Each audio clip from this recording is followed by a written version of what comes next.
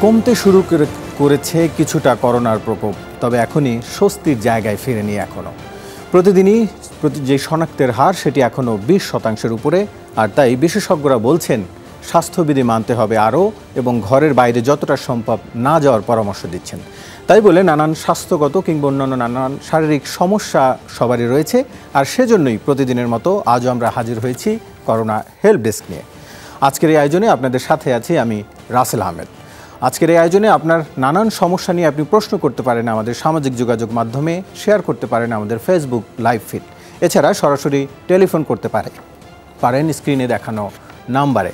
আজকের এই আয়োজনে আমাদের সাথে যারা যুক্ত রয়েছেন প্রতিদিনকার মতো, আজও তাদের সাথে আমরা শুরুতে পরিচিত হইনি।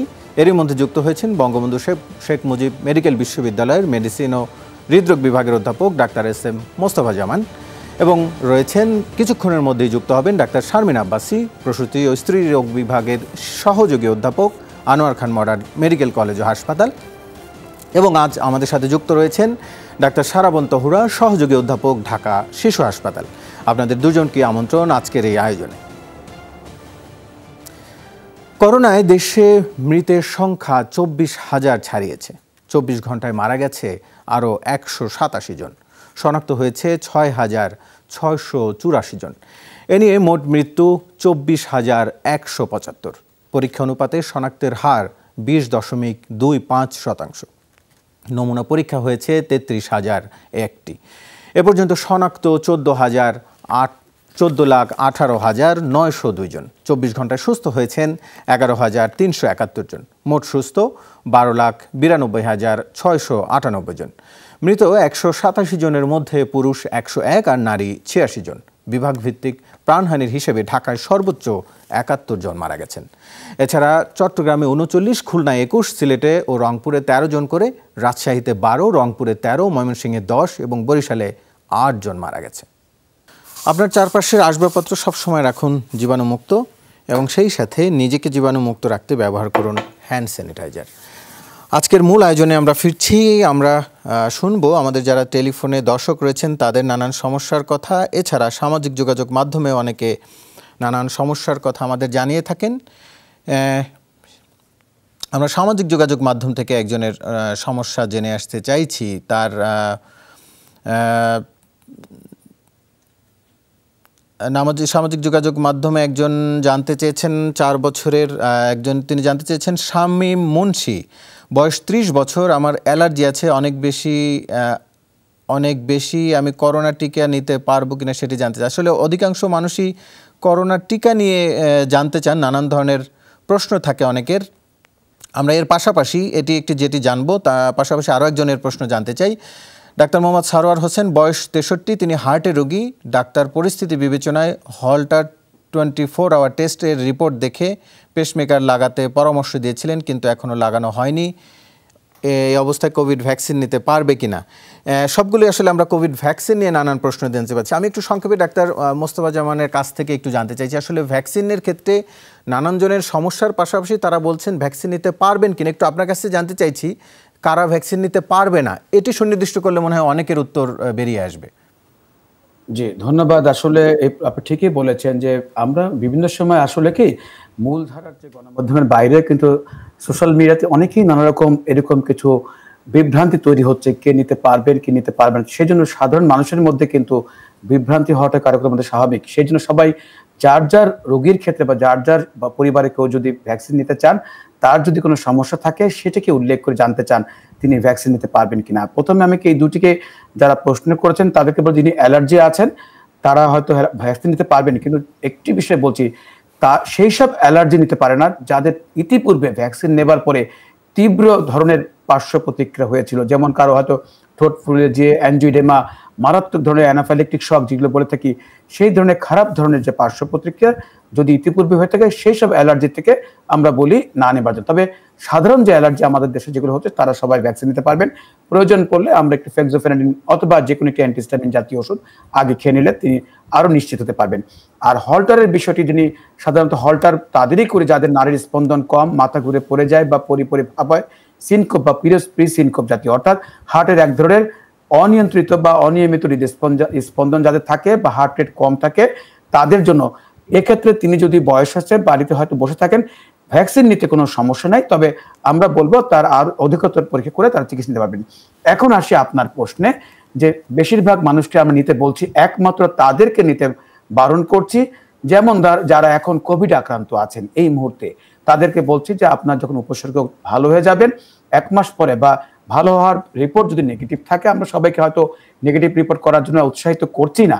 কিন্তু যে কথা বলছি, অনেকে হয়তো আমরা বলছি নেগেটিভ হওয়ার এক মাস পরে বা উপসর্গ থেকে মুক্তি পাওয়ার পরে এক মাস পরে ভ্যাকসিন নিতে পারবেন।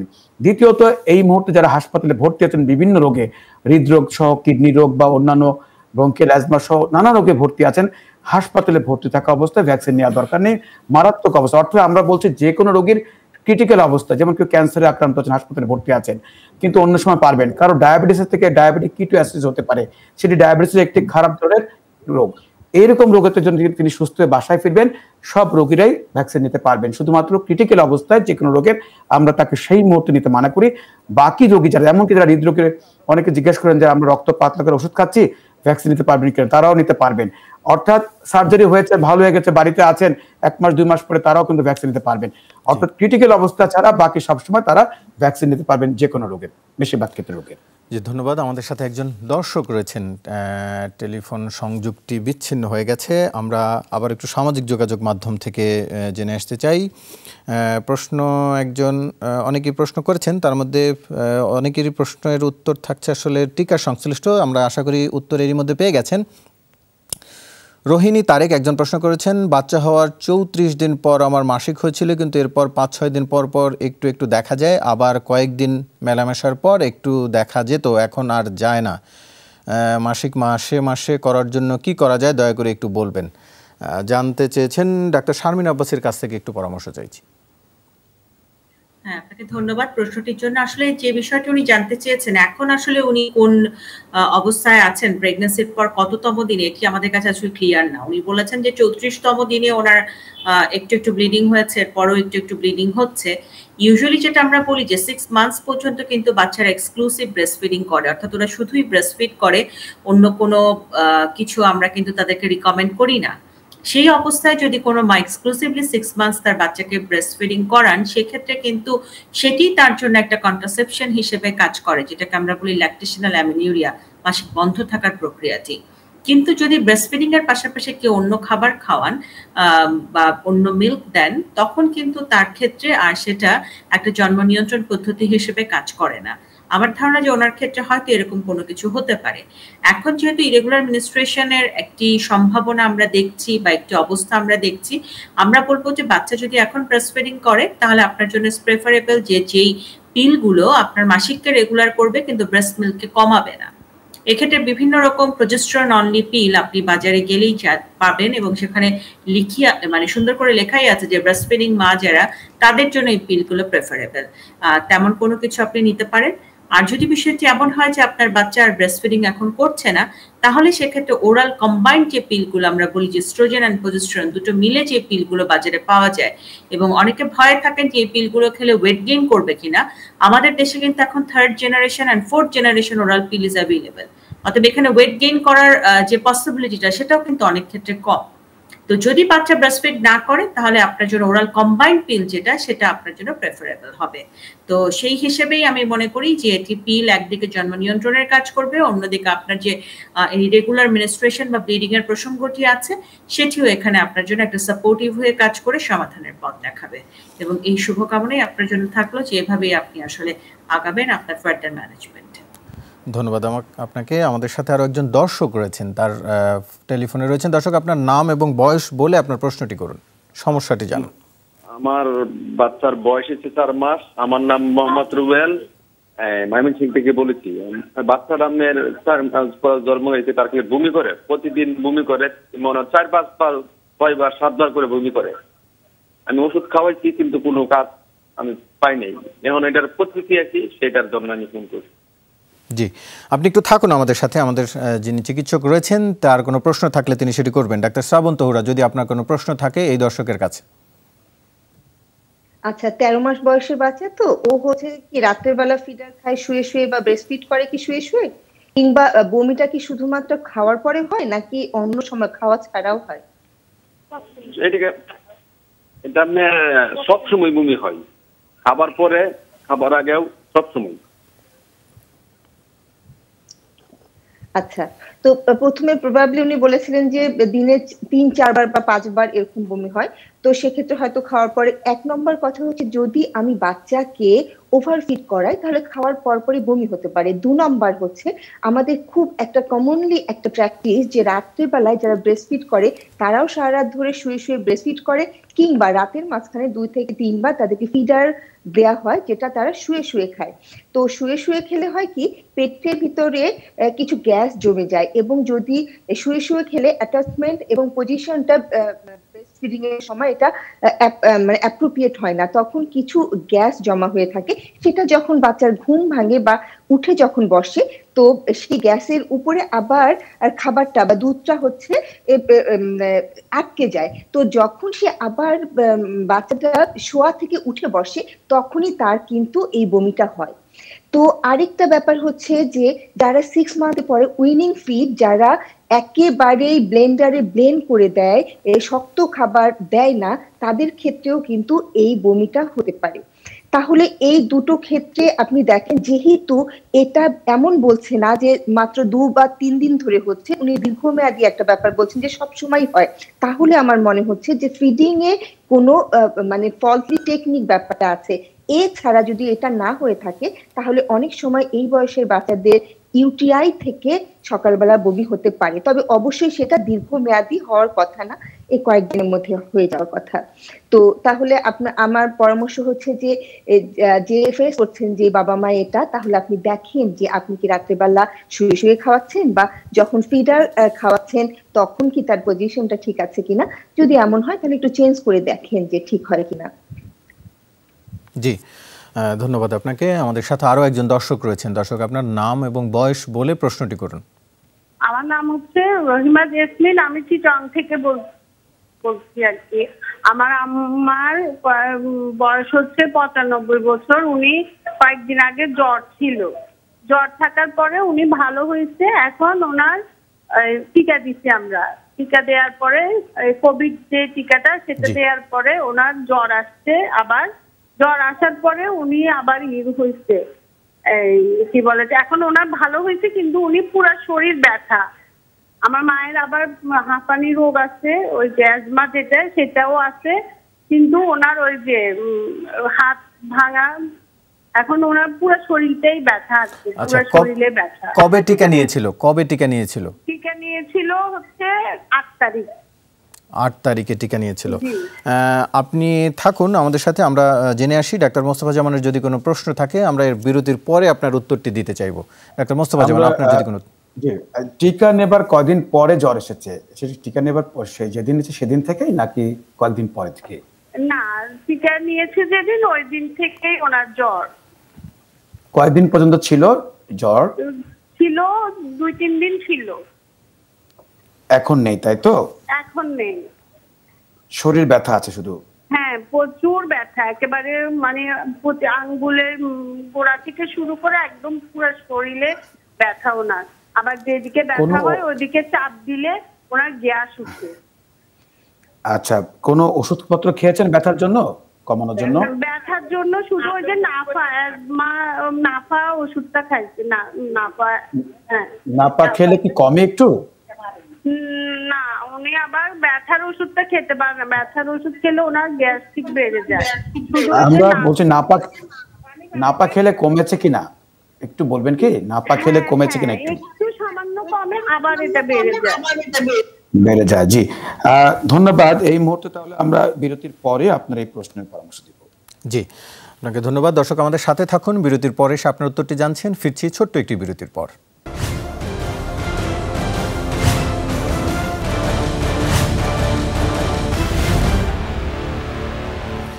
বিরতির পর আরও একবার স্বাগত। দেখছেন করোনা হেল্প ডেস্ক আমরা বিরতির আগে একজন দর্শকের সমস্যার কথা শুনছিলাম, তার মায়ের সমস্যার কথা জানিয়েছেন। ডাক্তার মোস্তফা জামানের কাছ থেকে পরামর্শ চাইছি দর্শকের জন্য। জি, ধন্যবাদ। আসলে আমরা প্রথমে ধন্যবাদ জানিয়ে যিনি প্রশ্ন করেছেন, বিশেষ করে পঁচানব্বই বছর বয়সে আরেকটি কারণে যে এই বয়সে তারা কিন্তু করোনার প্রতিরোধক যে ভ্যাকসিন নিয়েছেন, এটি কিন্তু অত্যন্ত আসার কথা। আমরা যখন দেখছি চারিদিকে ভ্যাকসিন বিরোধী নানা ধরনের অপপ্রচার, গুজব চলছে এবং সে তার মধ্যে এই বয়সও তিনি ভ্যাকসিন নেবার যে দুঃসাহস যেহেতু আমরা জানি যে এই বয়সে তার ভ্যাকসিন নেওয়া দরকার এবং তার মাধ্যমে অন্যদেরকে একটা মেসেজ দিতে চাই যে যে বয়সে হোক না কেন আমরা মনে করি যে ভ্যাকসিন নিলে তিনি তার প্রতিরোধ ক্ষমতা আরও বাড়াতে পারবেন। তো হয়েছে কি ভ্যাকসিনের কিছু সাধারণ কিছু পার্শ্ব প্রতিক্রিয়া থাকে। বেশিরভাগ সময় আমরা দেখি যে স্থানের ভ্যাকসিনটি প্রয়োগ করা হয়, সেখানে একটু ব্যথা হতে পারে, শরীর ব্যথা হতে পারে, জ্বর হতে পারে। সাধারণত সেটি কিন্তু অল্প কয়েকদিন থাকে, যেহেতু জ্বর ভালো হয়ে গেছে দু তিন দিনের মধ্যে শরীর ব্যথাটি একটু আছে। তো এটি ভয়ের কোনো কারণ, তাকে আমি আশ্বস্ত করতে চাই যে এটি নিয়ে দুশ্চিন্তা একেবারেই করবে না। যেহেতু বয়স বেশি, শরীরের এই যে আসলে যে একটু রোগ প্রতিরোধ ক্ষমতা একটু কম থাকে অনেকের, আরেকটু হলো যে এই সহ্য করার ক্ষমতা একটু কম থাকে, আর শরীরের হাড়গুলো একটু নরম থাকে। তো যে কোনো কারণই হোক ট্যাবলেট প্যারাসিটামল যদি ওষুধ, তিনি যদি দুটো করে দুবেলা খান, ব্যথা হলে ভরা পেটে এটি আস্তে আস্তে ভালো হয়ে যাবে। সঙ্গে যেখানে ব্যথা হয়, একটু গরম ছ্যাক দিতে পারেন।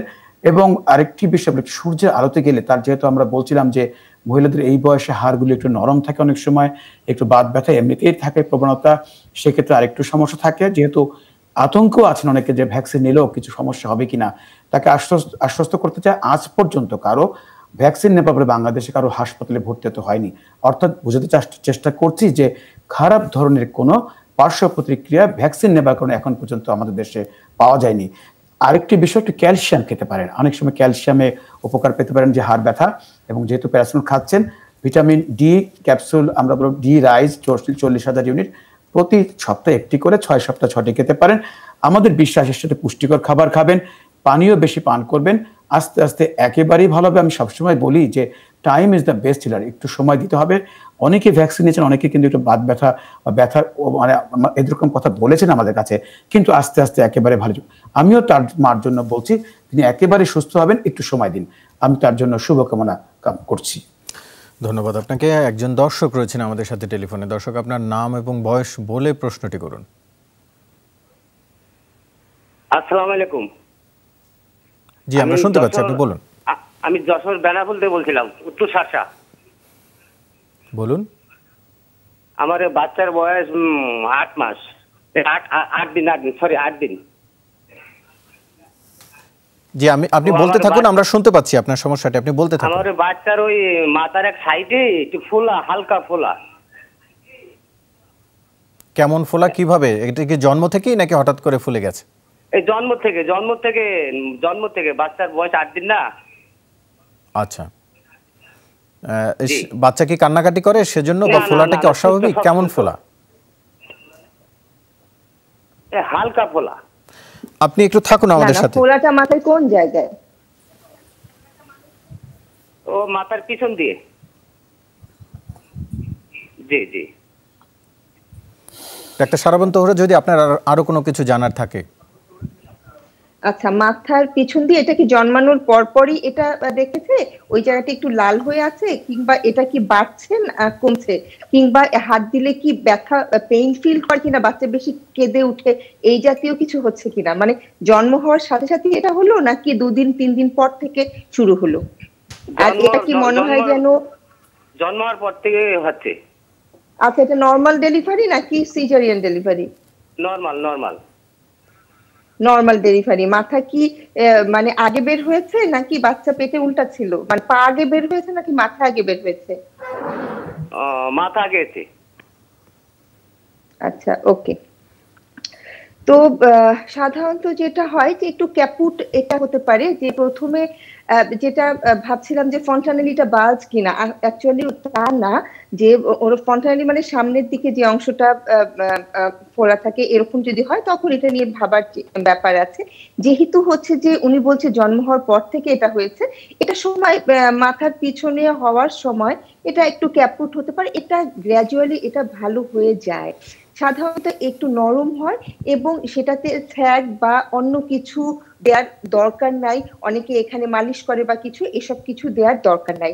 যেহেতু হচ্ছে এটাতে পেইন ফিল করছে না বা অন্য কিছু হচ্ছে না। কিন্তু এটার সাথে যদি আমার মনে হয় যে ব্যাপারটা অত সিভিয়ার কিছু না। এটা ক্যাপুট যেটা, সে গ্র্যাজুয়ালি আস্তে আস্তে এটা এমনিতেই ভালো হয়ে যাবে।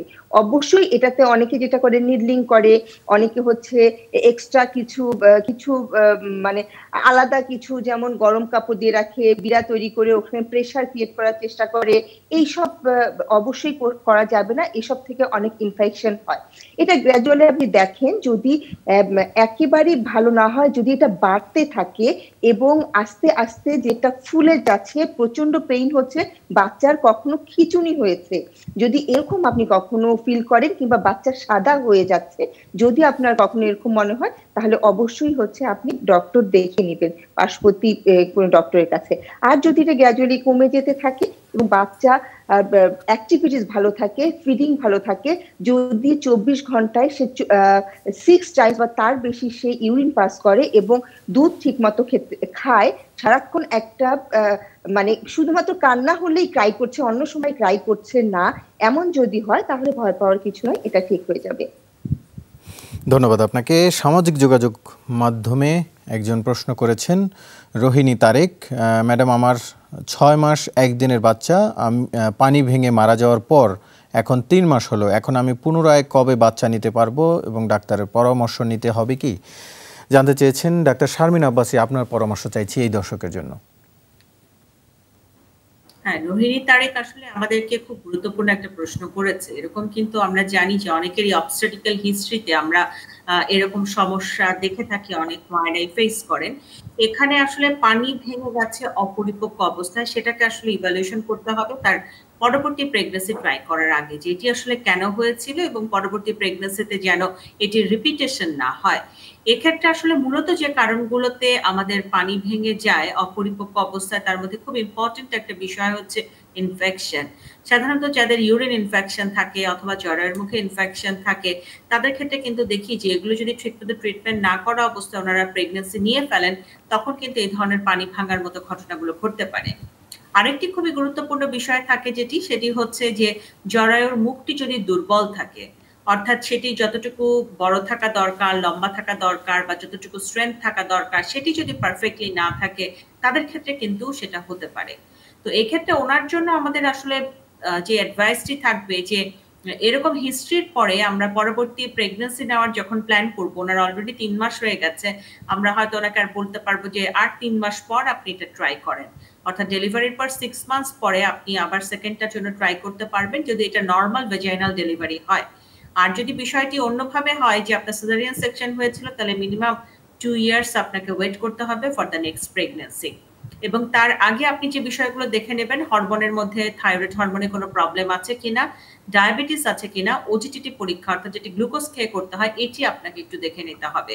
এই দুটো জায়গা যদি আমাদের দেখা থাকে, আরেকটি আমরা খুব ইম্পর্টেন্ট স্ক্রিনিং করি, সেটা হচ্ছে টট স্ক্রিনিং অর্থাৎ কোনো ভাইরাল ইনফেকশনের কারণে এই ধরনের সমস্যা আপনার হয়েছিল কিনা সেটার একটা এভিডেন্স আমরা আসলে হাতে রাখতে চাই। Urine routine and culture and high vaginal swab for CS অর্থাৎ কোথাও কোনো ইনফেকশনের অস্তিত্ব আছে কিনা। যদি থাকে তাহলে আগে ট্রিটমেন্ট তারপরে আপনি ট্রাই করবেন প্রেগনেন্সির জন্য এবং পরবর্তী প্রেগনেন্সিটি যেন হয় প্ল্যান্ড হওয়ার পরে যত দ্রুত সম্ভব চিকিৎসকের আওতাধীন থাকবেন ইন্টিনেটাল চেক আপটা প্রপারলি নিতে হবে এবং মনে রাখবেন যে এবার যেই সময়টিতে আপনার পানি ভেঙে যে অপরিপক্ক ডেলিভারি হয়েছে, এটা কিন্তু ডাক্তারকে জানাতে হবে। যার ফলে ওই সময় বিশেষ ব্যবস্থাপনায় হয়তো কিছু প্রজেস্ট্রন ইনজেকশন মুখে ওষুধ দেওয়া অথবা জরায়ের মুখ একটু সেলাই করে দেওয়ার প্রসঙ্গগুলো আসতে পারে যদি প্রয়োজন হয়। তো সেই নিয়ম অনুযায়ী যদি আমরা সামনে আগাই এবং এই তথ্যগুলো যদি ওনাদের জানা থাকে, তাহলে কিন্তু পরবর্তী প্রেগনেন্সি খুব সুন্দর করে উইথ দ্য সাকসেসফুল ইভেন্টলি এটাকে কিন্তু শেষ করা খুব সহজ হতে পারে।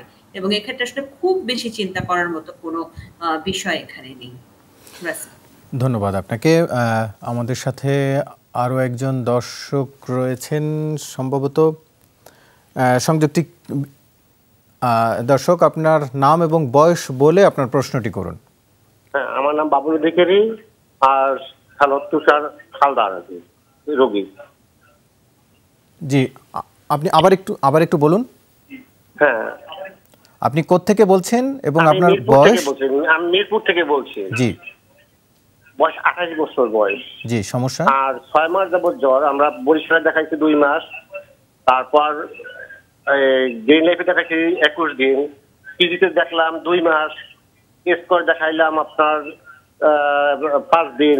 এখন আমি বাসায় নিয়ে আসছি। ছয় মাস যাবত জ্বর জ্বর তার শেষ হচ্ছে না। এই এত দীর্ঘ সময় ধরেই কি তার জ্বর রয়েছে? হ্যাঁ দীর্ঘ সময় ধরে জ্বর। এই কিছুদিন জ্বর কম ছিল এখন একটু বাড়ছে আর কি। মানে এই একভাবেই আছে আর কি। ঠিক আছে আপনি একটু- নিরানব্বই একশো একশো দুই এই পর্যন্ত ওঠে জ্বরটা। তার কি অন্য কোনো সমস্যা রয়েছে শারীরিক? আহ, শারীরিক বলতে হচ্ছে খাওয়া দাওয়া করতে হাঁটাচলা করতে পারে কথা বলতে পারে কিন্তু ডাক্তার এইটুকুই যে কি জিনিসটা এটা এখন ফাইন্ড আউট করতে পারে না। যে আপনি একটু থাকুন না। মাথায়- হ্যাঁ মাথায় কিছু বলতে সমস্যা আছে টিভির ওষুধটা প্রথমে চালাই যাচ্ছে জি আপনি একটু থাকুন আমাদের সাথে ডাক্তার মোস্তফা জামান রয়েছেন তার কোনো প্রশ্ন থাকলে তিনি সেটিও জেনে নেবেন। ডাক্তার মোস্তফা জামান। আচ্ছা কি ওষুধ চালাচ্ছেন বর্তমানে দর্শক বললেন কোন ওষুধ খাচ্ছেন এখন বর্তমানে? আপনার যে doctor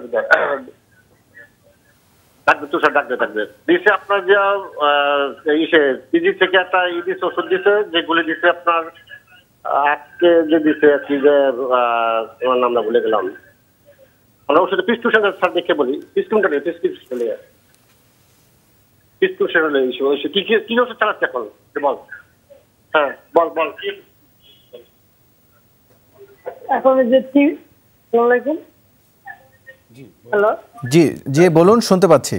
হ্যাঁ ওই যে টিভির ওষুধ চলতেছে তারপর এই যে প্রেশারের জন্য অ্যান্ডোকল ফাইভ তারপর ঘুমের ওষুধ কোয়াইট পঁচিশ এমজি তারপর যে এনএসিএল লবণের কমে এই জন্য এনএসিএল তিনশো দুইটা করে তারপরে এই জ্বর ওঠার জন্য নাপা আবার মাঝে মধ্যে সাপোজি থেকে এইটা দেওয়া লাগে ইউজ করতে হয়। তারপর কটান কটান চলতেছে ভ্যালেক্স পাঁচশো এর আগে। তারপরে যে ইরাটা ওইটা খাওয়ানো হয়েছে। তাও জ্বর কমতেছে। না মানে কোনো পরিবর্তন নেই। আজ আমাকে একটু যার বললেন বয়স হলো আঠাশ বছর তাই তো? হ্যাঁ জি। হ্যাঁ। আচ্ছা তার কি শ্বাসকষ্ট অ্যালার্জি অ্যাজমা এরকম কোনো সমস্যা আছে কিনা? না না এরকম কোনো সমস্যা নাই। শ্বাসকষ্ট অ্যালার্জি বা কাশি এগুলা কোনো সমস্যাই নাই। কিছুই নেই। তার প্রস্রাবে কোনো জ্বালাপন এগুলো কি কোনো অ্যান্টিবায়োটিক খেয়েছেন বা কোনো কালচার হ্যাঁ, সেন্সিটিভ হ্যাঁ, করেছেন? ব্লাড কালচার হ্যাঁ ব্লাড কালচার অলরেডি তিনবার করানো হয়েছে। ব্লাড কালচার তিনবার করানো হয়েছে। তারপর যে X ray ultrasound urine test মানে অনেক পরীক্ষা নিরীক্ষা করানো হয়েছে কিন্তু কোথায় কিছু ধরা পড়তেছে না। শুধু ব্রেনে একটু সমস্যা পাইছে। মানে খিচুনি ছিল তাই তাই তো? কিছু একবার খিচুনি ছিল কি না তার? হ্যাঁ হ্যাঁ খিচুনি হয়েছিল। খিচুনি খিচুনি হয়েছিল। দুইবার হয়েছে এখন ওই যে শরীর হাত পা মানে খিচতেছে মানে এরকম এরকম কাঁপাইতেছে মানে খিচুনি হইতেছে। আহ, যে রেকর্ড করেছেন এটি আসলে কোন সময় বেশি থাকে সর্বোচ্চ কত থাকে? এটা নির্দিষ্ট করে নাই। এখন ওই যে একটু আগে একশো তিনের মতো ছিল। একশো দুই একশো এরকম মানে কন্টিনিউ জ্বর থাকে। মানে- নাপাক হয় না জ্বরটা পরে। জি কিন্তু আমার কথা যে দিনের কোন সময়টিতে আমরা অনেক সময় মেজার মেপে দেখতে বলি রেকর্ড করতে বলি একটি প্যাটার্নটি কোন সময় জ্বরটি বাড়ে কখন কমে এটি করেছেন কখনো? হ্যাঁ এটা মানে নির্দিষ্ট করে না। রাতে উঠে আবার কখনো বিকেলে কখনো সকালে এরকম মানে নির্দিষ্ট কোনো এই যে এই যে- দুই মাস বললেন দুই মাস কি টানা এরকমই হচ্ছে নাকি এর মধ্যে কমেছিল? হ্যাঁ প্রতিদিন জ্বর মানে প্রতিদিন এই ছয় মাস যাবতের জ্বর। কিন্তু ওই যে প্রতিদিন এরকম টেম্পারেচার হাই থাকে। নির্দিষ্ট কোনো আচ্ছা, সময় নেই। আপনার কি থাইরয়েড পরীক্ষা এগুলো করানো হয়েছিল তাই তো? হ্যাঁ হ্যাঁ ম্যালেরিয়া তারপর বিভিন্ন আচ্ছা। পরীক্ষা। জি আমি আরেকটি প্রশ্ন করব যে আরেকটি সর্বশেষ প্রশ্ন তারপরে আমি উত্তর দেবো। সেটা হলো যে এই যে কালচার সেঞ্চুরি করেছিলেন এই কালচার সেঞ্চুরি করা অবস্থায় আপনি কোনো অ্যান্টিবায়োটিক খাওয়া অবস্থায় ছিলেন কিনা? খাওয়া- চলছিল তখনও। মানে খাওয়া অবস্থায় পরে পরীক্ষা দিয়েছিলেন তাই তো? হ্যাঁ হ্যাঁ ওই যে ইঞ্জেকশন চলতো তখন এই যে। ওয়ান গ্রাম করে চলতো তিনবার আর ট্রাই ট্রাইজিট চলতো দুই গ্রাম করে মানে তিনবার। জি। রাসেল আমি কি এখন উত্তর দিব? আমরা একটু বিরতির পরে এসে উত্তরটি নিতে চাইছি। আচ্ছা জি দর্শক আপনি আমাদের সঙ্গেই থাকুন। আমরা একটি ছোট্ট বিরতি নিয়ে ফিরছি কিছুক্ষণের মধ্যেই বিরতির পরে আপনার উত্তরটি জানতে পারবেন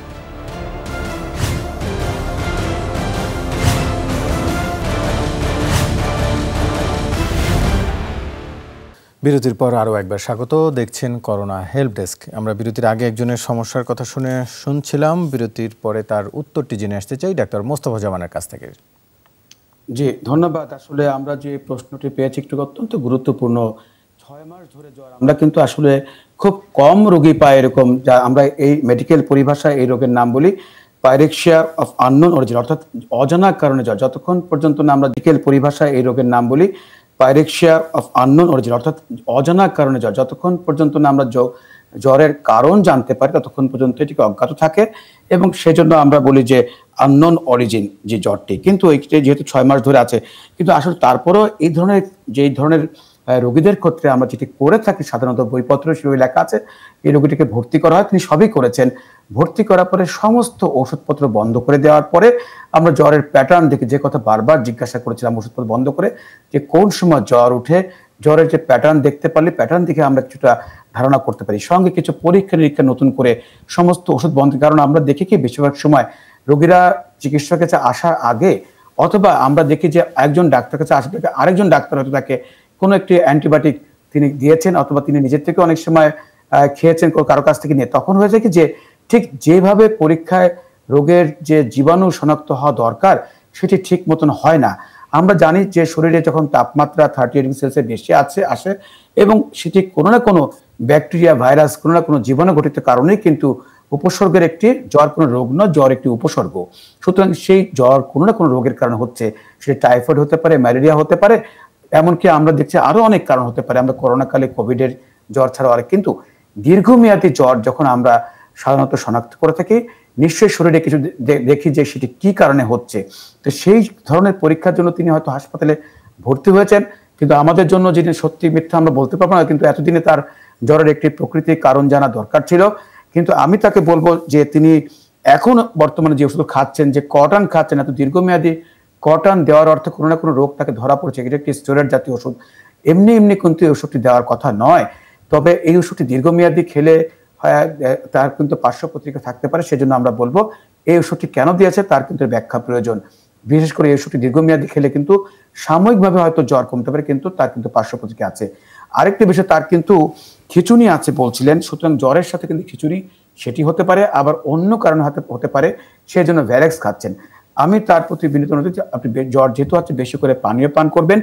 এবং আর একটা জিনিস যে কিছুদিন ওষুধ বন্ধ করে আমরা সবসময় বলি, একটি ভালো ব্লাড কালচার যে একটি ভালো জায়গা থেকে একটি ব্লাড কালচার করতে হবে, একটি ইউরিন কালচার করতে হবে। আমরা সবসময় কারণ জানবার চেষ্টা করি যে কি কারণে তার, কোন জীবাণুদি হলো। নানা ধরনের জ্বর হতে পারে, নানা কারণ হতে পারে। আমি ছোট্ট একটি উদাহরণ দিয়ে শেষ করব। আমি যিনি আমি জানি তিনি অনেক কষ্টে আছেন। অনেক অনেক পরীক্ষা নিরীক্ষা করেছেন, অনেক টাকা ব্যয় করেছেন, হয়তো তার ফাইল অনেক মোটা হয়ে গেছেন। কিন্তু আমাদের কাছে অনেক সময় এরকম জ্বর এসেছে, রোগীরা আসেছে। আমরা কিন্তু এগুলোকে ভালো করে বুঝিয়ে বলি, দেখেন আপনাকে প্রথম দরকার ধৈর্য। ধৈর্য ধরতে হবে, কোনো একটি জায়গায় যদি প্রয়োজনে কোনো একটি সরকারি হাসপাতালে ভর্তি হবেন। যেহেতু করোনার সময় হয়তো সেরকম আপনি জায়গা পাচ্ছেন না, এবং সময় নিতে হবে আপনাকে। অল্প কদিন ভর্তি, পাঁচ সাত দিন হবে না, দুই সপ্তাহ কিন্তু হবে না, আরও বেশি সময় লাগতে হবে। এবং এই সময় ধীরে ধীরে ওষুধগুলো বন্ধ করে আমরা পরীক্ষা নিরীক্ষা পর্যায়ক্রমে ধাপে ধাপে করতে হয়। আমি ছোট্ট একটু উদাহরণ দিব যে আমি যখন আজ থেকে অনেক বছর আগের কথা, আমি তখন নিজে ইন্টার্নশিপ করি, একজন রোগী হাসপাতালে এরকম ভর্তি ছিল। আমরা অনেক অনেক পরীক্ষা করি দেখি কোনো অবস্থায় রোগ ধরা পড়ছে না। পরবর্তীতে আমরা যখন ঠিক বিকেলবেলা রোগীর ইতিহাস নিচ্ছিলাম, যে তিনি বিদেশে থাকতে সেই একজন উটের কাঁচা দুধ খেতেন, অর্থাৎ পাস্তুরাইজ না করে। এবং সেখান থেকে কিন্তু দেখা গেল যে এই যে কাঁচা দুধ পান করলে কিন্তু ব্রুসেলোসিস নামক এক ধরনের রোগ হতে পারে, এক ধরনের জীবাণু সেই পরীক্ষার বাংলাদেশে তখনও আবিষ্কার হয়নি মানে তখনও করার, শনাক্ত করার পদ্ধতি বিভিন্ন কোনো প্যাথোলজি ল্যাবে হয়নি।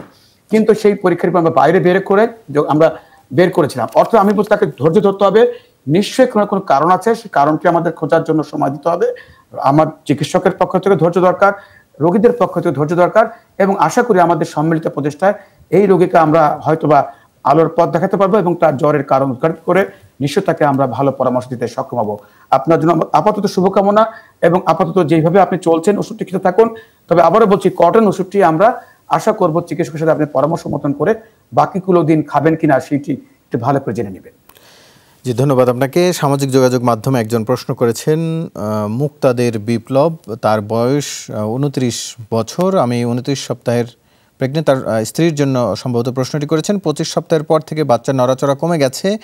ছাব্বিশ সপ্তাহে ডাক্তার আলট্রা দেখে ঠিক আছে বলেন, কিন্তু এখনও বাচ্চা আগের মতো খুবই কম এবং আস্তে নড়াচড়া করে। চব্বিশ ঘন্টায় পাঁচ ছবার নড়াচড়া করে। এখন আমি কি করব ম্যাডামের কাছে জানতে চাইছি। ডাক্তার শারমিন আব্বাসি, আপনার পরামর্শ।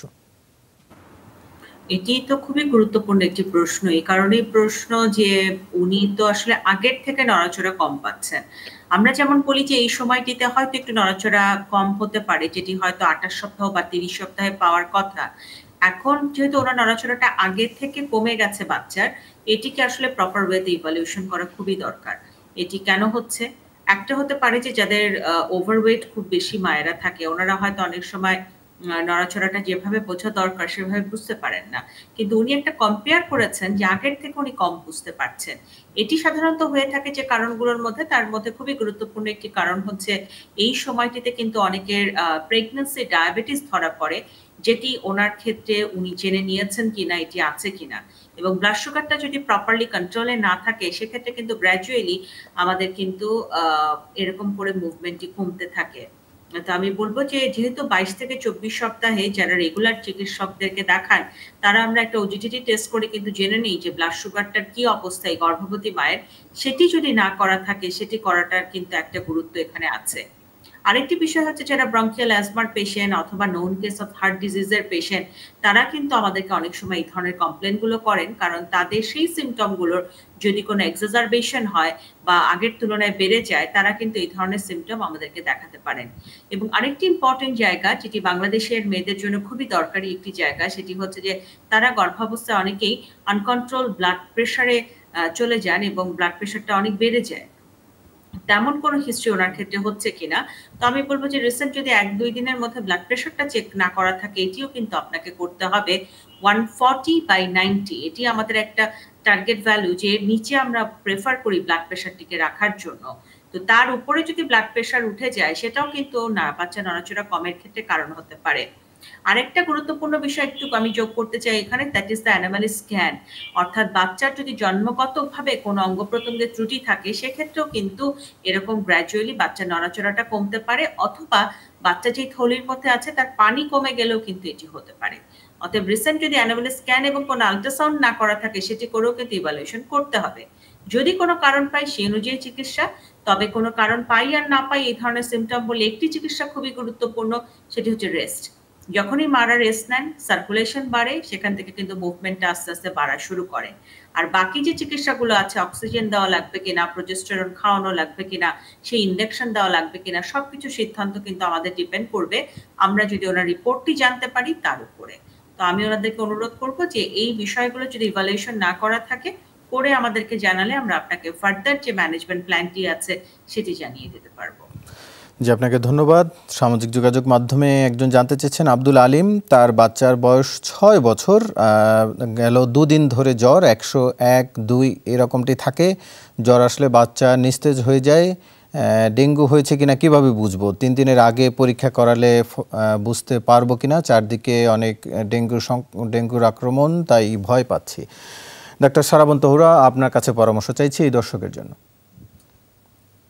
ঠিক এই সময়ের জন্য এটা খুব খুব বেশি ইম্পর্টেন্ট একটা কোয়েশ্চেন এবং এই কোয়েশ্চেনটা সবাই করছে যে বাচ্চার জ্বর হয়েছে, এটা করোনা হয়েছে না ডেঙ্গু হয়েছে বা কেন হয়েছে, এই ব্যাপারটায় তারা কনফিউজ আমি এই মুহূর্তে বলতে চাই যে যে বাচ্চা বাবা যে প্রশ্নটা করেছেন, সে খুব অরিট আছেন, স্বাভাবিকভাবে অরিট থাকারই কথা হাই গ্রেড ফিভার সাথে যদি হাত পায়ে প্রচণ্ড ব্যথা এবং আরেকটা বলে যে চোখের পিছনে ব্যথা এবং মাথা ব্যথা, যদি এই সিমটমগুলো থাকে তাহলে অবশ্যই আপনাকে ডেঙ্গু টেস্টটা করিয়ে নিতে হবে। ডেঙ্গু টেস্ট কিন্তু এনএস ওয়ানটা প্রথম তিন দিনের মধ্যেই করতে হবে। কারণ তিন দিন পার হয়ে গেলে এনএস ওয়ানটা নেগেটিভ হবে, আবার অ্যান্টিবডিটা পাওয়ার জন্য আপনাকে সেভেন ডেজ পর্যন্ত মানে সিক্স ডেজ অনওয়ার্স মানে সেভেন ডেজ পর্যন্ত আপনাকে ওয়েট করতে হবে। মাঝখানে যে চার দিন উইন্ডো পিরিয়ড অ্যাকচুয়ালি সেই সময় জ্বরটা থাকে না, কিন্তু বাচ্চারা সেই সময় সবচেয়ে খারাপ হয়। কারণ ভাস্কুলার পারমেবিলিটিটা সেই সময় তৈরি হয় বা শকে চলে যায় এই সময়টা। কাজেই আপনার বাচ্চা দুদিন হলো জ্বর হয়েছে, অবশ্যই আমার পরামর্শ একটা সিবিসি করবেন আর সাথে হচ্ছে অবশ্যই ডেঙ্গু এনএস ওয়ানটা করিয়ে নেবেন। ডেঙ্গু হলে যেটাই হোক না কেন, ডেঙ্গু আর বাসায় করোনা আছে কিনা একটু দেখে নিন। যদি আপনার বাসায় অন্য কোনো কারও করোনা থাকে, তাহলে অবশ্যই করোনা টেস্টটাও করিয়ে নিতে হবে। জ্বর যদি থাকে এই সময়, যেটা ডেঙ্গু হোক বা করোনা হোক, আপনি এখন যেটা করবেন বাচ্চার ফ্লুইডটা বাড়িয়ে দিবেন। বাচ্চারা স্বভাবতই পানি খেতে চায় না এটা একটা প্রবলেম তারপরেও যত ইন্টারেস্টিং করে বানিয়ে নিতে পারেন জুস করে হোক তরল হচ্ছে মুরগি স্যুপ করে হোক, বা সে যে ড্রিঙ্কসটা পছন্দ করছে সেইটা দিয়েও হলেও আপনি এই মুহূর্তে ওকে হাইড্রেশনটা মেনটেন করেন, বেশি বেশি পানি দেন। এই মুহূর্তে ডেঙ্গুর সিজনে সবসময় আমি বলি প্যারাসিটামল ছাড়া অন্য কোনো ঔষধ জ্বর কমানোর, যেমন র্যাপিড কমানোর জন্য অনেক সময় আইবুপ্রোফেন বা প্রোফেন জাতীয় ওষুধগুলো ফার্মেসিস্টরা বা ফার্মাসির দোকানে যে দোকানদাররা তারা এইসব দিয়ে দেন। অবশ্যই এগুলো এখন দিবেন না। শুধুমাত্র ওকে প্যারাসিটামল। বাচ্চাদের ক্ষেত্রে খুব সহজ হিসাব প্যারাসিটামলের হিসাব হচ্ছে প্রতি আট কেজি ওজনের জন্য এক আমাদের দেশে যে সিরাপগুলো এখন অ্যাভেলেবেল সেগুলোর এক চামচ সিরাপ প্রতি আট কেজির জন্য। এইভাবে আপনি মেজার করে প্যারাসিটামল খাওয়াতে থাকুন। আর অবশ্যই আমার পরামর্শ যে বাচ্চাকে দেরি না করিয়ে সিবিসি এনএস ওয়ানটা একটু দেখে নেন। জি, আপনাকে ধন্যবাদ। আমি সংক্ষেপে একেবারে আমাদের হাতে মাত্র এক মিনিটেরও কম সময় আছে। ডাক্তার শারমিন আব্বাসের কাছে একটি ছোট্ট প্রশ্ন জানতে চাইছি প্রেগনেন্সির এই সময় ডেঙ্গু হলে কি করণীয়? সংক্ষেপে। এটি তো সংক্ষেপে উত্তর দেওয়া খুব কঠিন, তবে বলব যে ডেঙ্গু, করোনা দুটো আমরা একসাথে পাচ্ছি। এমন রোগীও অনেক বেড়ে গেছে, ডেঙ্গু রোগীও বেড়ে গেছে। আসলে যেটা আমরা বলব যে মেডিসিনের অ্যাসপেক্টে যেটা যে হাইড্রেশন মেনটেন করা, তার properly blood pressure pulse follow আপটা করা, সে কেমন আছে, তার সিমটমগুলো বাড়ছে কিনা, সেই জিনিসগুলো প্রপার ফলো আপ করাই হচ্ছে আসল জায়গা। এবং এই ধরনের পেশেন্টগুলো ম্যাক্সিমাম ক্ষেত্রেই হাসপাতাল অ্যাডমিশন দিয়ে আমাদেরকে কিন্তু ম্যানেজ করতে হচ্ছে এবং অনেকগুলো রোগী এই মুহূর্তে কিন্তু আমাদের ভর্তি আছে আমাদের হাসপাতালে। তো সেই জায়গাটা আমরা বলব যে প্রিভেনশনের জায়গাটি যদি তারা ক্লিয়ার করেন যে যতটা প্রতিরোধ করা যায় গর্ভবতী মাকে এই সমস্যাটি থেকে, সেটি কিন্তু সবচেয়ে বড় একটা আমাদের সমাধান হবে। জি, ধন্যবাদ আপনাকে। এই সাথে আরও দুজন চিকিৎসক আমাদের সাথে রয়েছিলেন, ডাক্তার মোস্তফা জামান, ডাক্তার সারাবন্ত হুর আপনাদের দুজনকেও ধন্যবাদ আমাদের সাথে যুক্ত হওয়ার জন্য। দর্শক, এই ছিল আজকের আয়োজন। এতক্ষণ সাথে থাকার জন্য ধন্যবাদ। দেখা হবে পরবর্তী পর্বে। ভালো থাকুন, সুস্থ থাকুন।